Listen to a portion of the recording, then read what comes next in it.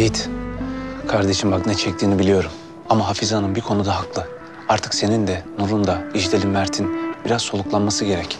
Ya anlamıyorsunuz. Gerçekten beni anlamıyorsunuz. Ben Nur için endişe ediyorum. Kıskandım falan yok. Ben o adama güvenmiyorum. Nur'un nerede olduğunu öğrenene kadar da değil soluklanmak, nefes almaya vaktim yok benim.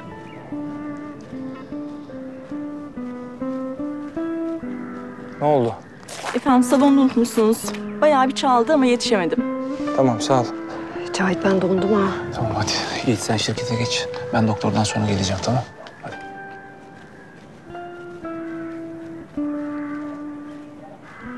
Alo. Bak artık Allah aşkına adam gibi bir şeyler söyle bana. Döndüler Yiğit Bey.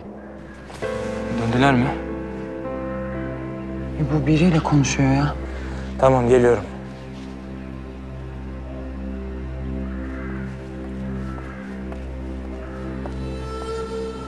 Arıyor burada ya?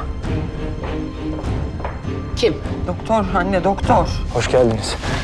Ben de çıkıyordum. Cahitler sizi salonda içeride bekliyor. Benim ufak bir işim var da ben çıkıyorum. Gelmişken size çok üzgün olduğumu söylemek istedim. Üzgün. Bebek için.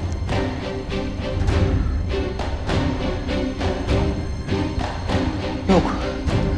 Yok böyle normal merhabalaşma değil. Bu kadın konuşuyor anne. Konuşuyor bu kadın. Kahretsin. Allah kahretsin. Dediğim gibi elimizden geleni yaptık ama bazen olmayınca olmuyor.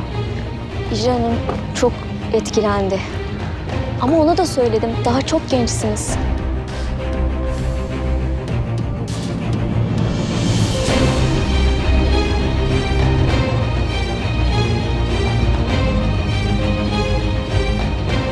Ka kaç gün oldu? Ne zaman? Ne zaman düştü bebek? Günler, günler oldu. Yoksa siz